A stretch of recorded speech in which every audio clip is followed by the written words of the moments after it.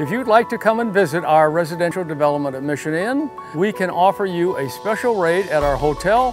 which is right on our property, and then you can enjoy seeing our models and also our vacant lots that are available.